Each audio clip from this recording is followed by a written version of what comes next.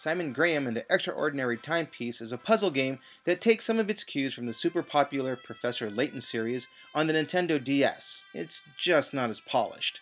The game is a mix of puzzles from word puzzles, picture puzzles, logic puzzles, and the most dreaded puzzle of them all, dun dun dun, math puzzles.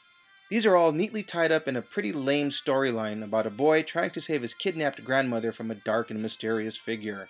Kidnapped grandmother? Really? The Victorian art is simple and cool, but has no bearing on the game whatsoever, other than making me feel like they're trying to cash in on the whole steampunk thing.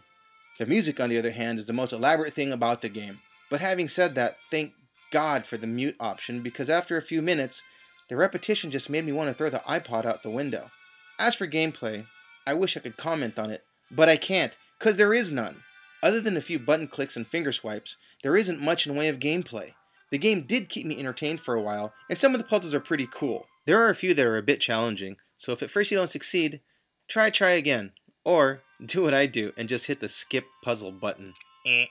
If you're really into thinking games that are clever and challenging, then I say go for it. But as for me, the last thing I want in a video game is math. This is Jet with AppVee.com, your definitive source for iPad and iPhone reviews.